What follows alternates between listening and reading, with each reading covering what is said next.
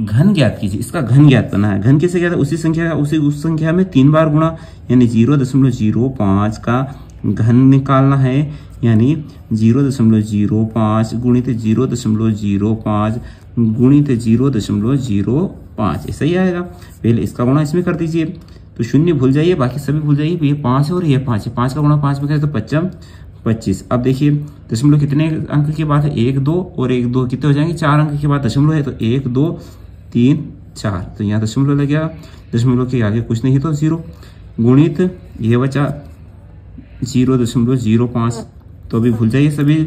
शून्य को पच्चीस और पाँच लीजिए पच्चीस का गुणा पाँच में कर दिए पच्चीस पंजे एक सौ पच्चीस। और अब दशमलव लगा दीजिए। एक, दो, तीन, चार, पाँच छः अंकों के बाद दशमलव है तो एक, दो, तीन, चार, पाँच छ दशमलव ये ज़ीरो। ये आ गया आपका उत्तर। आशा है उक्त प्रश्न आपको समझ में आया होगा।